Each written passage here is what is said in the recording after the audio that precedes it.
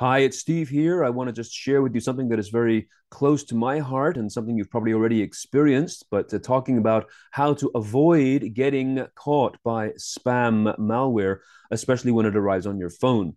We've all been there. We know the situation. You have a phone message, an SMS message showing up that says something like, your bank account has been frozen, or you've missed a delivery, or you are in trouble with the IRS, the tax authorities, because you owe them money, or maybe they owe you a refund. But either way, you get this message that says, hey, there's something going on that is directly important to you, usually around money or personal safety. And what do you do? Well, a lot of people will click on that link because it's something urgent and something they've got to deal with right away.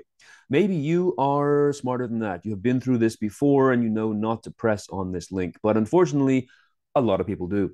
And it is the cause of so much problem, not just simply for an individual on their own phone, but the fact that their phone and their email and all their other data that can be pulled from this accident uh, can lead to their companies, their employers, and become a source of other larger scale cyber crime as well. So it isn't just simply an individual crime.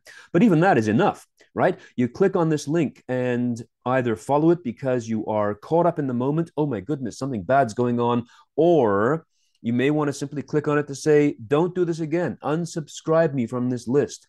But that also doesn't work because anytime you click on this link, you are telling the bad people who send it that your connection, your number is a live connection, and it will be resold even further across the dark web because it is live, it is valuable.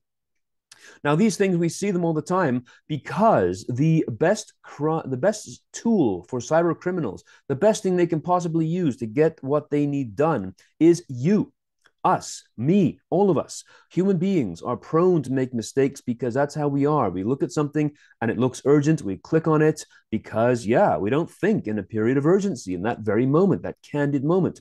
So, a lot of companies and organizations have spent millions, billions of dollars building up their fortress to make it almost impenetrable, which is great. But the weak link is always the humans, us. So, this is the problem we're facing is getting caught on these little things, these little messages, whether they show up on your phone or even as an inbox email on whatever system you have. It can be something just like this. Uh, it doesn't matter what the company is, whether it's a real company or a made up company. The subject line is something that says, hey, this is uh, your account has been suspended. There's problems, there's trouble. And here's what you got to do with a link. And most people won't look at this too closely. This is a sample that I just simply took off line off the internet. But I mean, if you look at the from line here, uh, the company is SunTrust, but the domain it's coming from is not spelled the same way. It is SunTust, something that people will overlook in that moment of urgency. The account also, the link uh, is not going to be going to the direct real company. It's going to go somewhere else. And most people don't ever stop to look at that kind of stuff. It becomes the classic way of fooling people. Everything else about this looks legitimate, so you click on it and just do what they say. Now, this is playing on human fear. People are terrified of making a mistake. They're terrified of losing their job if they make a mistake that affects the company, or even if it's just simply personal, just losing their money, uh, losing their their privacy, whatever it is. Or they get that message saying, "Hi, it's your granddaughter or grandson or nephew I'm traveling in Paris and I'm stuck in jail and I need some bail money. I need your help. And the immediate fear is I got to take care of this person, obviously. And we just jump into those things all the time. That is the problem. Sometimes you can recognize some things in these emails or these messages that points out the fact this is a scam. Usually, no personalization, nothing that shows that they know who you are. No first name, no last name, no specific account numbers, because that stuff is unique to you. Sometimes they'll try and fool you by telling you that your credit card, starting with these first four digits, is uh, frozen. Well, you know, that's nothing because every credit card belonging to any particular brand, Visa, MasterCard, whatever, has the same four digits. That's how they brand themselves. So that's one that people f- get fooled by. Poor spelling, poor use of language uh, and of grammar uh, is always uh, a good trip up because most of the people who send these things don't have the time, the patience, or the need to improve their spelling and grammar, knowing again that most people who read it are going to look past that and just simply react to the urgency. And that is the bottom line here is that these messages send a great urgency, forcing you to click right away without thinking. And uh, that's where the problems happen. So, what I want to share with you is the one thing that I'm hoping you will take away, not only for yourself, but to teach others, especially those such as your trusting parents um, who may have come from another generation where trust was a normal thing. Whenever you receive a message that has this kind of urgency message, the most important thing to do is to gap it.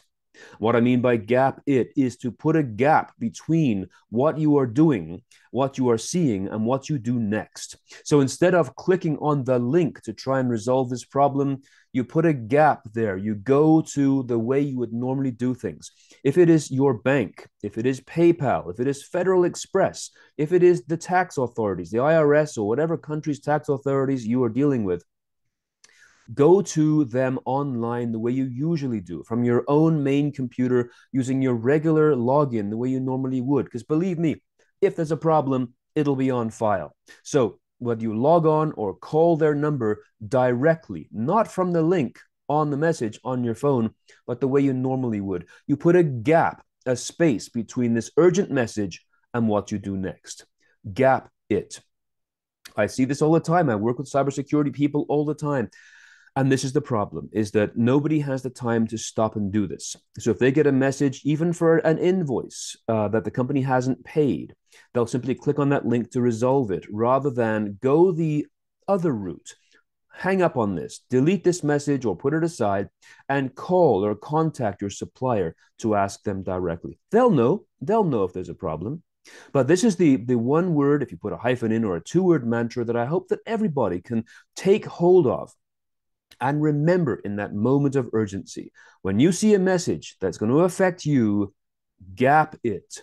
Put in a gap, put it aside, and go and handle this separately the way you normally would. Log in, call somebody the way you normally would, not the link or the phone number on that message.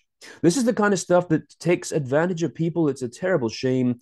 And it's so easy to fix just by teaching this street smarting technique to gap it and move away from the stimulus and respond separately. Never, by the way, as I've already mentioned, click on the link to ask to be unsubscribed from any email because, as I said, it simply reveals you as being a live contact and your phone number or email address suddenly goes up in value tenfold or a hundredfold and will be resold all over the dark web as a live contact. So there's no point in ever trying to reason with these people. All you're doing is putting yourself into harm's way once again. I just repeat this right now gap it. Teach everybody you know to gap it. These are the kind of things that I teach uh, in my books, in my podcasts, and in my consulting. Um, you can check it out and have more or learn more about this and other kinds of situations that we get caught up on, if you want to, in my new book, which is called The Future of Workplace Fear How Human Reflex, there you go, human reflex stands in the way of digital transformation and therefore progress. Um, even if you don't want to buy the book, check out the podcast. StevePrentice.com has the link to the podcast Cool Time Life, and the episodes on here are evergreen. They're not, they don't evaporate or expire at the end of the week. They are to uh, concepts and techniques you can use to survive and thrive in this fast-paced digital life we're in. Uh, the podcast page at steveprentice.com will list all the past podcasts, um, which have again topics that are still relevant and useful today. So I invite you to check these things out and to, again, learn as you go every single day, micro learning how to survive and thrive in this world we are in. And finally, if you have any questions about further episodes of our YouTube series here, please send them to me. Again, there's a contact form at steveprentice.com. Let me know what you're interested in, and we'll set that up as the next episode of the Cool Time Life video series. So take care, be careful, you deserve to live a life unhassled by the criminal elements, and you can do so by learning how to gap it. Look forward to hearing from you and talking to you again soon. Thanks a lot.